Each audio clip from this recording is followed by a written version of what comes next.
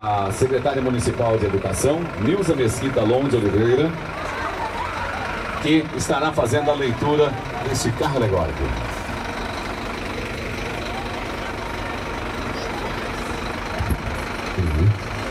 A educação municipal retrata nesse carro o maior patrimônio do ser humano, a aprendizagem.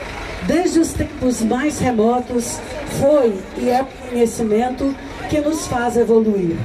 Primeiro, como espécie humana, depois, como seres capazes de construir a própria história. E chegamos aqui, há mais de 200 anos, nossos ancestrais iniciaram suas vidas nessa terra em que pisamos.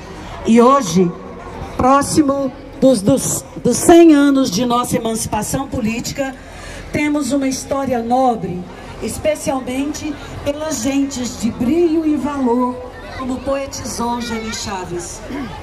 Essa gente nos encoraja a enfrentar desafios e buscar novas conquistas. Desde os idos tempos, foi também pela educação que Tiro se saiu. Nosso vasto município exportou patrimônio humano em tempos difíceis. Engenheiros, médicos, advogados, mestres, escritores, administradores e tantos outros profissionais de mentes brilhantes, filhos dessa terra, espalhados por esse Brasil afora. Somos gente e fortes raízes, de bons costumes e de fé. Somos herdeiros e construtores de uma educação que valoriza o conhecimento e o mérito. O carro da rede municipal de ensino vem destacar o quanto a educação e o professor são peças insubstituíveis para a formação humana. Aqui existiram dezenas e mais dezenas de escolas espalhadas por todas as fazendas e comunidades rurais. Isso para que crianças e jovens tivessem acesso ao ensino, que muitas vezes ocorria em cômodos cedidos por fazendeiros. Turmas grandes, escolas pequenas e imenso desejo de dar condições de aprendizagem, formar as novas gerações. Quantos obstáculos no passado e quantas dificuldades no presente.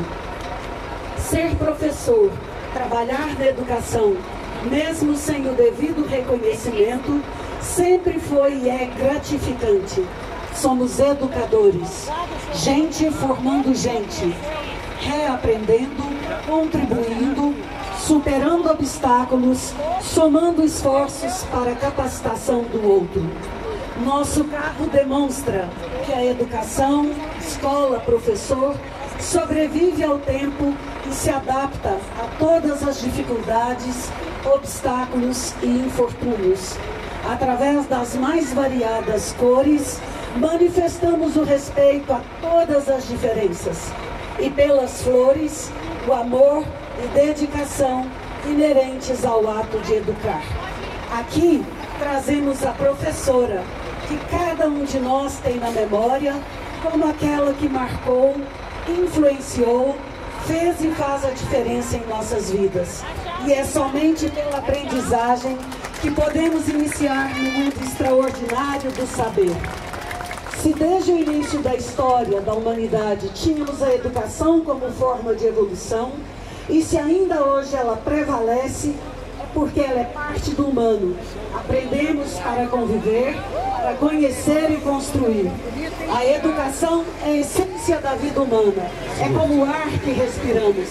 Educar é o nosso patrimônio, é a nossa nobre ação.